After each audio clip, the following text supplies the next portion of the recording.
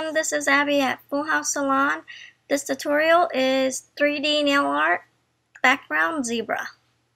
First you want to start with making your zebra background, uh, so go ahead and make some zebra. Make sure you leave black areas so we can fill it in so when we put the 3D it will pop. Um, all five nails I chose different black areas to put. One I put on the tips, one I put on just an angle.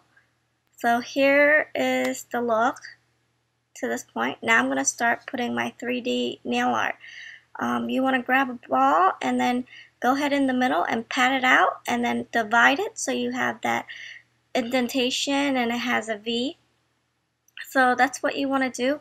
I randomly just go ahead and put random 3D flowers on each one. Um, some I did a full flower, some I didn't. So it's all up to you, so feel free to. Uh, for the thumb, what I did for the thumb is I made a rose. And I think that looked really good. This hand, I put three flowers, three, three petals, and then I put one underneath and then pushed it up and then I add two more to create a different type of flower. But they're all 3D so feel free to play around with it and mess around with it.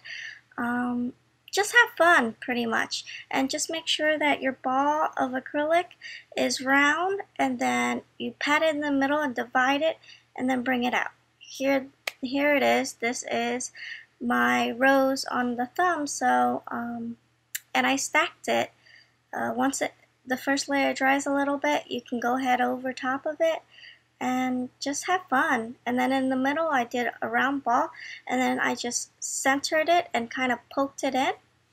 And then I did falling leaves. So I hope you guys can really enjoy this video and learn from it.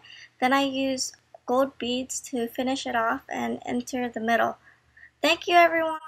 I hope you guys enjoy and don't forget to subscribe. Once again, this is Abby at Full House Salon. Take care.